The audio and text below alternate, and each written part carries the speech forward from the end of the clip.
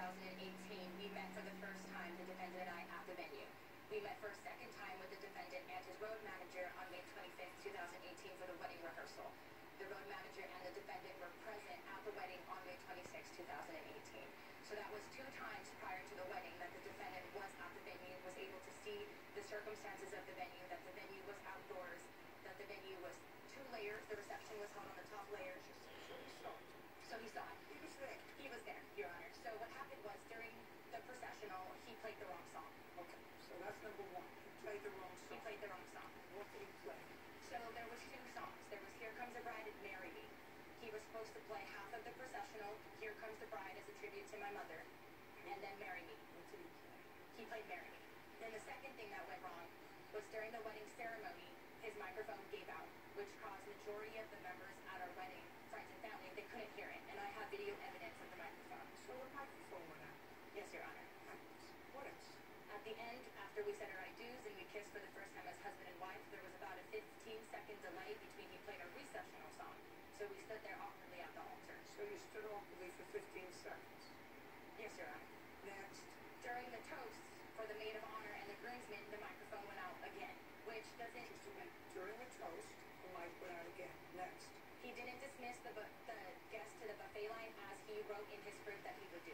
From what I gather, he was supposed to dismiss them one table at a time, and all he said was dinner is served. Yes, Your Honor. What's next? The father-daughter dance. Um, I'm sorry, the first dance. He did not play the right song. When he did play the song, it was 20 seconds in, and it was a synchronized dance. So the first dance, he was supposed to play what? He was supposed to play Thinking Out Loud. And he realized that he was playing the wrong song in 20 seconds. And then he played the right song. I don't know how long the distance from when he realized it was the wrong song, but when the song was playing and we could hear the song because the volume wasn't up, it was already 20 seconds into the song. Next. Father-daughter dance, he played the mother-son song instead. He switched the songs. During the garter toss, he changed the song halfway in again. Now the father tosses at the end of the evening. Yes, Your Honor. Wrong song. He switched the songs, Your Honor. What's next? Next is that I had a wedding coordinator that was in contact with Bobby prior to the wedding, was discussing with him via email. And on the day of the wedding, she had to come up to me because he refused to listen to her direction. Next. That is all I have, Your Honor. You don't get your money. I'm sorry. You don't get your money. May I ask why, Your Honor? Absolutely. Put your hand down. You may not recommend him to somebody else, but what I got from the first dance, then to the father-daughter dance, you had a party. A party that lasted until the end of the wedding, which was the garter toss. Now, I have a lot of things that happened at the beginning. I have, there was a 15-second delay at some point, which left you awkwardly standing there after the kiss. Then he was supposed to play two different things, Marry Me and Here Comes the Bride, and he only played Marry Me. After the ceremony, you had a party in which you had a DJ who played. Put your hand down, I'm not asking you anything.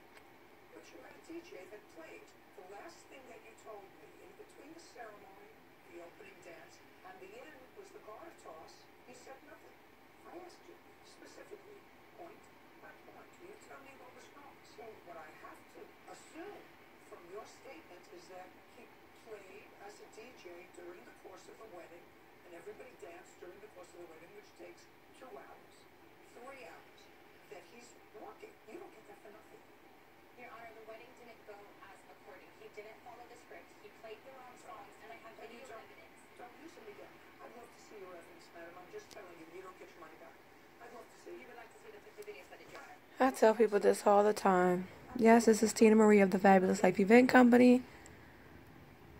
When I do consultations with brides, I tell them the DJ is the most critical and integral part. Besides myself and my team and what we do, the DJ is supposed to drive the event. When hiring a DJ, please do not take it lightly and hire your cousin, or you will get these types of situations. Okay, that's my tip for the day. Enjoy. Be blessed.